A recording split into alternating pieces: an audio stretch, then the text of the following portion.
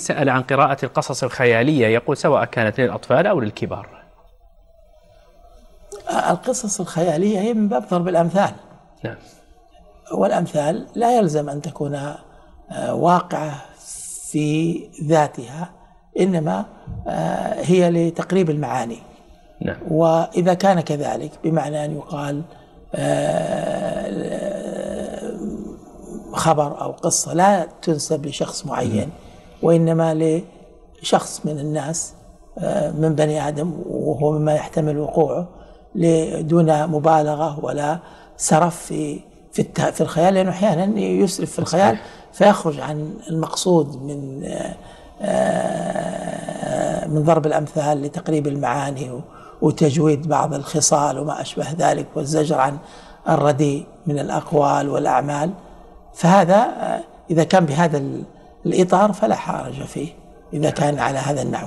أما إذا كانت خيالية مما لا واقع له ك يعني حرب النجوم وما نعم. أشبه ذلك من أشياء لا لا لا يعني أطباق وما إلى ذلك وناس يطيرون هذه تغيب الإنسان عن الواقع كما أنها آه، تشعره بالعجز وإضافة إلى ذلك آه، تسلبه آه، حمد الله على ما هو عليه من على ما معه من النعم.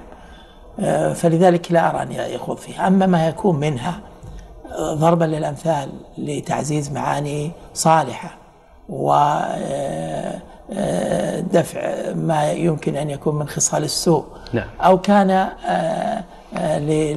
لتقريب معاني لتفهيمها. فهذا لا بأس به شريطة ألا ينسب إلى شخص. معين بمعنى أن لا ينسب إلى فلان من الناس سواء كان نبي أو كان رسول أو كان آه، صديق أو صالح أو من عامة الخلق لا ينسب لأحد. لأنه لو لما تنسبها إلى شخص فأنت تكذب. أحسن الله إليكم يا شيخ.